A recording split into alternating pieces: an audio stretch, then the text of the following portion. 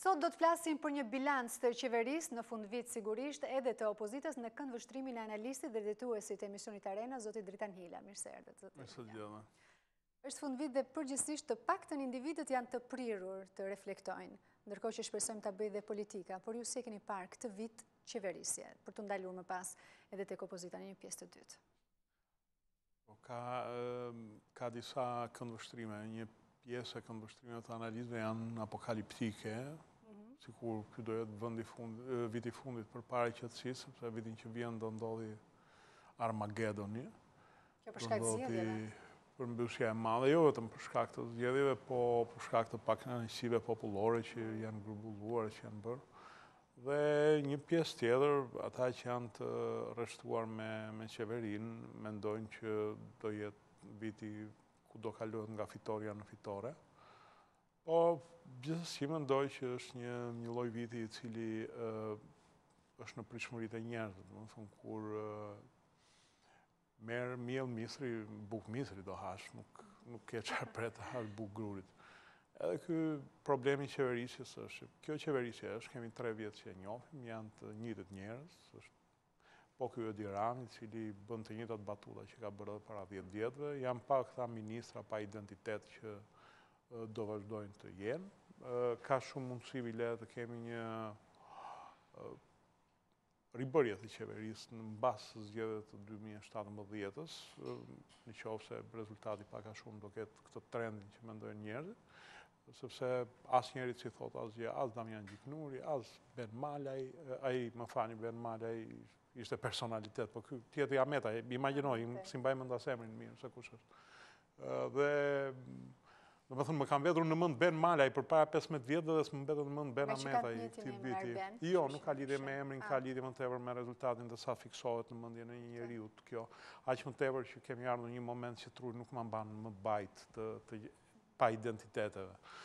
Dhe kështu që jemi në një periudhë, domethënë, ku unë mendoj që do bëhet ajo fraza e vjetër popullore, Leskovik o tatëpjetë, siç ka qenë do të jetë. Do vazhdojë ky trend, nuk presim revolucione, nuk presim trazira të mëdhaja. E vetmja e re që mendoj që mund të jetë është sjellja e Blushit dhe sa elektorati shqiptar do do përkrahë dy sfidat e reja, Blushin edhe Bojaxhiun. Por vërej një lloj imobiliteti nga ana e elektoratit dhe një lloj dembelizmi intelektual për sa i përket elitave, në qoftë se ato do ishin të shqetësuara. Shkaktuar nga çfarë, kjo dembelizm, se ka një motiv? E shkaktuar nga zhgënjimi i madh që pruri Edi Rama në 2013. Domethënë, prite një diçka, prite një Edi Rama i cili të kishte dalë nga ai kryebashkiaku i vogël që luante cic-mic me ndërtuesit për një rrugë, për një leje ndërtimi, dhe të ishte bërë ai kryeministri vizionar që do mendonte të bënte Shqipërinë. Në fakt, doli E njëjta prerje që ishte, ka mbetur po bashkiak i vogël, që po drejton në mënyrë të vogël Shqipërinë me të njëjtët oligarkë, me të njëjtët ndërtues që sot po ju themi oligarkë, po as oligarkë nuk janë. Janë ata biznesmenët e vegjël që fitojnë atë pesë lekshin e tyre duke bërë pazare me pushtetin. Dhe kemi po këtë kryebashkiak i cili s'ka më vizion veç të ndërtojë pallate, po bëhet plani rregullues i Tiranës që do kalojë në ditët e festave në një errësirë të, të tërë informative. Kemi një kryetar bashkie i cili është nënkryetar bashkie faktikisht. Pra gjithë kjo e ka lodhur njerëzit, nuk ka ende. Si është nënkryetar bashkie? Nga kush drejton? Veliaj nënkryetar bashkie është, s'ka, lejet e ndërtimit ia ka marrë Edi Rama, e qa meti riparon ndonjë trotuar dhe del e bërtet sikur mirëmbajtjen e qytetit, po na e shet si revolucionarizim të qytetit. Këtë, domethënë, Imagjinoni sa elektorat i lodhur, sa publik i lodhur është, sa që... Plani urbanistik është pak revolucionar në vetvete, sepse ka një shtrirje të gjerë, ka ndërtimin e shtatë qendrave, ka një, le të themi, ndërtimin e një Tirane më të gjerë. Shumë nga një nga këto qendra te Komuna e Parisit, se kam te shpia, është një lulishte 20 me 30 metra që nuk shkon asnjë kalama të luajë, se mund të thyejë turinjtë te lodrat kineze. Dhe imagjino, urdhëroni sa kanë rënë standardet, ja këto janë standardet, që, që kemi rënë në një pikë të tillë saqë themi që mirëmbajtja e qytetit, ajo lulishte ka qenë kënd lojrash, kuptohet nuk ishte mhm. mirëmbajtur, mm -hmm. tashti po mirëmbahet, është vetëm një 20 me 30, pra bëhet fjalë vetëm për 600 metra katror. Dhe neve po flasim, kemi rënë në standardet e tilla që riparimin e një trotuari, riparimin e një qoshe, mirëmbajtjen e një lulishte po i quajmë revolucion të madh, sepse kanë rënë standardet tona, nuk po kërkojmë më që të zgjerohen rrugët, mos ndërtohen më pallate 12 katëshe, këto ndërtesat e shëmtuara të socializmit të rinovohet pamja e tyre, të japin një pamje neoklasike, po e bën Maqedonia në në në Shkup, po bën një qytet i cili ishte i bukur në vetvete në në mënyrën e tij. Pra, kemi jemi në një moment të lodhur. Kush duhet ta bëjnë këtë? Duhet ta bëjnë elitat, po elitat janë lodhur vetë, sepse edhe publiku është i zhgënjyer nga ta. E mbani mend një që ka pas qenë një shoqatë për ruajtjen e trashëgimisë kulturore. Sa u prishte një shatrivan betoni, ishte një shatrivan një, me perimetër një një metër para parlamentit, e shqyenin gojën çorape, televizion në televizion, po rrënohet trashëgimia kulturore. U prish stadiumi Qemal Stafa s'hapi asnjëri gojën. Pra kemi një lloj rrënimi... Pati një reagim të disa analistëve në fakt, por nuk është se pati një reagim kaq të madh, saqë mund të prisnit ju. Po reagimin, reagimin më të madh e bënë disa nëpër blogje që dolën... Kaq që është në një kohë që qeveria me ty lot lumin e gomës. Edhe kryeministri ju thotë që Juve domthon po deshët merrni vota në asnjë vend të botës s'ka kryeministër që i thotë elitave merrni vota, elitat nuk marrin vota, sepse nuk i voton shumica. Është një kryeministër i cili ka nevojë t'i dëgjojë elitat dhe duhet të bëjë ato gjëra dhe sepse elitat shofin për për 30, 40 vjet mbrapa. Mhm. Ju tha me përbuzje ju tha ikni merrni vota që në një vë, në një kohë që duhet të të të Ju në fakt keni pritur që zoti Rama të kishte ose të bënte të paktën politika antipopullore me vizion afatgjat, i keni pritur këto nga zoti Rama? Ëm Dhe pse? Jo, Shqipëria Sepse kjo këtë s'e ka bërë asnjë lider të paktën deri tani. Politika antipopullore kanë bërë të gjithë liderët kur kanë ardhur, i ka bërë Berisha kur ka ardhur në 92-shin, bëri reformën e famshme të çmimeve, i ka bërë Nanoja kur ka ardhur në 97-ën, ka bërë Berisha prapë reforma kur ka ardhur në 2005-ën, dhe Po bën disa reforma, kemi një problem të madh sepse nuk e dimë se kë të cilësojmë reforma. Po, në një farë mënyre Rama ajo që i ka mbetur deri tashti është frenimi i ndërtimeve pa leje, sepse të gjithë të tjerat, jo lufta kundër kazinove, jo të gjitha që që iu hodhi poshtë importi i plehrave do do lodhesha të rendisja lufta kundër partneritetit publik privat etj. Ja edhe pamë Lulzim ba, Berishën që doli nga burgu domethënë kemi një një deja vu të situatës të 2005-ës po reforma në drejtësi nuk është meritë e kësaj qeverie Jo, reforma në drejtësi do donte një natë dimri të flisnim dhe reforma në drejtësi është një tentativë e perëndimorëve për të mhm. bërë shtetin shqiptar nëpërmjet drejtësisë. Po do përfundojë që në sistemin e drejtësisë të vihen gjykatësit e Ramës që do t'i garantojnë një imunitet për 20 vjet të tjera. Si e shikoni të majtën në prag të zgjedhjeve, sepse le të themi që sjellja politike ka vijuar tashmë të jetë në funksion të votës së këtyre zgjedhjeve, pas janarit sigurisht që këto sjellje do të përforcohen më shumë dhe a i ka mbajtur sipas jush zoti Rama premtimet që bëri para se të vinte në krye të qeverisë gjatë këtyre tre viteve? Një ndër to ka qenë hapja e vendeve të punës, për cilat foli edhe sot në një lidhje live, në një po, aktivitet dhe të artë.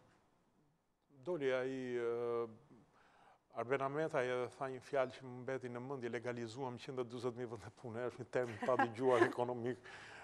Po, kur ke mbaruar anglisht, fillon shpik terma ekonomikë. 300.000 vende pune nuk do duhej një tip Adenaueri ose De Gasperi që të bënte treqind mijë vende pune. Unë thashë që Rama mbeti i njëjti kryebashkiak i vogël i qytetit që bëri pazaret e vogla të tijat.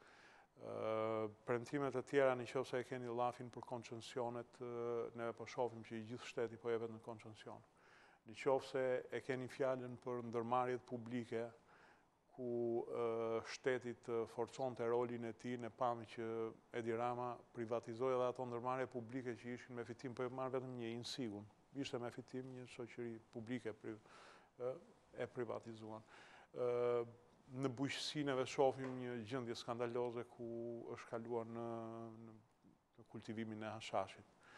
Cili do jetë, mendoj që do jetë një llogari thjesht politike këto zgjedhje, do jetë një llogari thjesht numrash, ku do t'i ndihmojë ky sistem zgjedhor që kanë dhe ku asnjëra palë nuk është e interesuar, çuditërisht nuk është e interesuar edhe edhe opozita, me sa duket ajo e ka ndarë mendjen që do rrijë dhe 4 vjet të tjera në opozitë. Ndërkohë një ndër pikat ose më saktë le të themi marrëdhënia e koalicionit qeverisës, pra marrëdhënia mes Partisë Socialiste dhe Lëvizjes Socialiste për, për integrim ka qenë shumë e diskutueshme veçanërisht vitin e fundit, jo aq sa dy vitet e para. Si e shikoni aktualisht këtë raport dhe si i shikoni le të themi edhe këto Sjelljet e të dy liderëve, Metës dhe Ramës, me deklarata që duket sikur njëherë i afrojnë palët dhe njëherë i largojnë, njëherë bëjnë presion dhe njëherë tregojnë sikur ky koalicion funksionon. Në këndvështrimin tuaj ka funksionuar këto tre vite dhe çfarë mendoni në të ardhmen, ose pas zgjedhjeve? Ka funksionuar siç funksionon treni, ku dy rrota ecin secila në shinën e vet po asnjëra s'i jep llogari tjetrës. E rëndësishme është që të jenë paralel në ecjen e tyre dhe të çojnë trenin e cila në këtë rast është qeveria në stacion. Kanë funksionuar si sektorë më vete, ku ministritë e LSI-së kanë qenë të LSI-së, ato të PS-së kanë qenë të PS-së. Përsa i përket rrafshit politik, mendoj që i kanë dhënë mbështetje njëra-tjetrës, se ashtu siç i kanë bërë edhe stërkëmbësa të mëdha. Një moment kur mund të prishej kjo aleancë, në mos gaboj, ishte momenti në korrik ku Zoti Meta e kërcënoi rëndshëm të gjitha krahët e politikës, por me sa duket në krahun tjetër ishte një opozitë e dobët dhe vetë Radhët e Metës vuajtën diversionin që bëri Rama nëpërmjet blerjes së deputetëve të LSI-së. Kjo e bëri Metën që të tërhiqej dhe të presi të presi zgjedhjet. Në fakt, nga tre udhëheqësit kryesorë që janë, i vetmi që është, domethënë, lloj i vjetër, është ende kokëkrisur që mund të bëjë ndonjë veprim të pallogaritur brenda intrigës së vogël politike, është Meta. Po me sa duket, edhe Meta e ka parë që për të bërë luftën duhen shokë, edhe nuk po gjen akoma shokë që të shkojë në luftë. Shok kujt i referoheni, se mund të ketë shokë... Bashën. Si duket Basha është akoma i dobët, ka akoma probleme me partinë e vet. Basha nuk është në gjendje të disiplinojë grupin e deputetëve të tij. Nuk e shikoni si alternativë këtë, le të themi një koalicion PD LSI në zgjedhjet e jo, ardhshme? Jo, është është një alternativë, por që të jesh alternativë duhet të kesh numrat. Ë dihet që Meta është ende në fazën e e Po mos të ishte për çështje numrash ju e shikoni të mundur. Po shiko, Meta e ka bërë një herë koalicionin me me Bashën, nuk ka asnjë problem pse pse mos ta bëjë prapë, nuk nuk domethënë te në një politikë që s'ka fare parime ne pse po rrimë t'i kërkojmë tash parime me Metën. Jo, e ka bërë me Berishën, po, po, po. siç e bëri me Ramën. Mund mund ta quajmë edhe edhe mm, domethënë pabesi lidhjen me Ramën, nëse s'kishte se Rama në fakt po ta shohësh nga ana programore Rama është më i djathtë se sa Berisha. Bile PD-ja po afrohet drejt qendrës me programin e saj të ri, ndërsa Rama po kalon në ekstrem. Rama ka premtuar që në qoftë se fiton prapë, do privatizojë Çezin, do OSHEE-n, më falni, se na ka mbetur emërtimi i vjetër. Diçka që është një ndërmarrje publike me super fitim, do privatizojë dhe ndërmarrje të tjera, që janë politika ultraliberiste që i ka bërë Margaret Thatcheri dhe mbrapa u detyrua shteti t'i riprivatizojë, sepse pa që janë të pamenaxhueshme nga privati ndërmarrje të tilla të mëdha. Rama ka, pra, nuk kemi më një trafti ideore të ashtu, është thjesht një një një negociatë midis partive, sa më jep, sa të jap. Kjo është e gjithë. Duke qenë se Levizja Socialiste për Integrim nuk e ka njohur opozitën e mirëfilltë, sepse ka shumë vite që ndodhet në pushtet, mendoni se ka shërbyer të paktën në këtë qeverisje si opozitë e Partisë Socialiste, sepse shumë nga programet apo projektet e Zotit Rama janë kundërshtuar nga me? Atëherë, mua më pëlqen të jem koherent me veten time. Mhm. Lëvizja Socialiste për Integrim e ka provuar 5 vjet opozitën, mhm. për faktet historike, e ka provuar në 2004, në mos gaboj është themeluar në 2004, apo në dy mijë e tre, nuk e mbaj mend mirë kur është themeluar, por e ka bërë deri në dy mijë e nëntën opozitën. Pra ka bërë pesë vjet opozitë ku shprehur me terma gjuetarësh gjuheshin për mish lepuri dhe nga PD-ja dhe nga PS-ja. Bëri një kapërcim ylberi në 2009-ën, në kushtet e kur PS-ja nuk i kishte dhënë asnjë gjë asaj dhe u detyrua për mbijetesë politike që të bënte kalimin. Ka bërë 8 vjet, ka qenë palë me pushtetin. Në fakt, përveç rastit të SHIK-ut, kur Berisha donte të ndërronte drejtorin e SHIK-ut, a ligjin e SHIK-ut, nuk e mbaj mend mirë që ishte vota e saj vendimtare që nuk e lejoi Berishën të ndryshonte kryetarin apo ligjin, nuk e mbaj mend mirë, duhet të kem referenca. Ëm ka bërë disa kundërshti të tjera, po të cilat ishin ato që ia kërkonin ndërkombëtarët, në një farë mënyre ka qenë siguresa e ndërkombëtarëve ndaj ekseseve të qeverive shqiptare. Për sa i përket Ramës, nuk ka qenë aq deklarative opozita e saj, po gjithsesi është më tepër kam idenë që Meta vazhdon e mbetet një lloj sigurese ndaj ekseseve të Ramës, të qeverisë Rama, e cila më tepër në planin ndërkombëtar këtë sesa në në politikat e brëndshme. Në politikat e brëndshme është një diçka që merren vesh dhe të themi të drejtën, LSI-ja nuk ka numrat që t'i imponohet PS-së aktualisht me futjen në lojë të partisë së çamëve të Idrizit. Kuptoj. Ndërkohë opozitën, si e keni parë në këto tre vite? Këto tre vite kanë qenë dhe një test në fakt për Lulzim Bashën, i cili në një farë mënyre kërkon të japë një portret tjetër partisë së vjetër, Ka premtuar që do të sjellë një parti të re, më të hapur dhe sigurisht tetëmbëdhjetë qershori do të jetë dhe prova e tij e parë, për të parë nëse vërtet ai mund të përbëjë një alternativë për shqiptarët. Të jemi realistë, kjo nuk ka qenë një test për Bashën. Kjo ka qenë një test për ata që i la Berisha Bashës. Sepse ky grupi parlamentar është grupi i Berishës. Po të çohet Berisha, ata as pyesin fare çfarë thotë Basha te SHQUP-i. Oa, Berihaj mbas Berishës shkojnë edhe ata. Pritet tashti si do reagojë. Sa njerëz do t'i lërë Berishës te grupi parlamentar? Do t'i lërë vendin honorifik që ka thënë apo jo? Në qoftë se ai nuk arrin të imponojë grupin e vet parlamentar. Në qoftë se nuk arrin të imponojë njerëzit e tij, po i garantoj edhe një 8 vjetsh të tjerë mbas 2017-s në opozitë, derisa të dalë një lider që t'i tregojë Berishës se ku e ka vendin, deri ku e ka limitin, sepse opozita Shikoni një shkëputje apo nuk shikoni fare shkëputje të Partisë Demokratike nga lideri historik? Jo, shiko, e kam tepër psikologjike, janë të lidhur me Berishën. Derisa Berisha është në fushë, Ata automatikisht shkojnë mbas thirrjes së Berishës, sepse janë një parti e ngritur në mënyrë thotë mos harrojmë, është njëzet e pesë vjet parti. Siç do shkonte PS-ja mbas Nanos. Nanoja nuk kishte nevojë për asnjë votë, nëse do ishte brenda. PS-ja nuk e ndoqi aq shumë Nanon se. Po Nanoja iku vetë mbylli telefonat, shkoi në Selanik, pastaj nga Selaniku krisi iku në Austri edhe nuk nuk u erdhi fare këtu që t'u linte ndonjë shpresë ndjekësve të tij. Po partitë shqiptare këto janë, le mos jetojmë me iluzione. Në qoftë se lideri vetë nuk bën shkëputjen, t'i thotë ore nuk jam më unë, është ai tjetri, kjo nuk ndodh. Berisha nuk i ikën shpirtit, domethënë nga nga Partia Demokratike dhe nuk po e lë Bashën që të bëjë. Gjithsesi, ka një problem Basha i cili është problem ideologjik i tij. Duhet të fillojë ta kthejë Partinë Demokratike nga një parti nëndialektore ku flitet dibrançja dhe tropojançja në një parti popullore. Duhet të fillojë të shkojë në Vlorë, duhet të fillojë të shkojë në Përmet, duhet të fillojë të shkojë në Sarandë, nuk ka pse e ngushton në çetën e trimave të Tropojës dhe të Dibrës, Partinë Demokratike. Përndryshe, ka për të mbetur një parti satelite, do fillojnë do zgjerohen këto të tjerat. Po, aq shumë në Dibër nuk ishte se humbi? Dhe çfarë treguan humbjet e këtyre zgjedhjeve në Ersekë dhe në Dibër? Humbjet në Dibër janë një mishel e cila kërkon analizën e vet. Ku mhm. kemi disa faktorë të rinj që po dalin, cili është pjesëmarrja në mënyrë presante e krimit të organizuar, po kemi edhe një lloj pakujdesie në në zgjedhjen e kandidatëve, jo sepse kandidati ishte i keq, ishte shumë i mirë, po ishte problemet. Këto nuk janë teste zgjedhjet lokale për zgjedhjet e përgjithshme. Çfarë do të diskutohet nesër në Arena, shkurtimisht?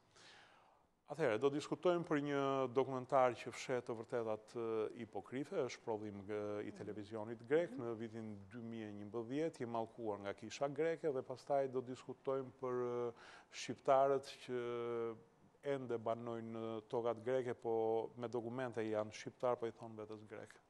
Falenderoj që ishit në studio. Falenderoj dhe juve.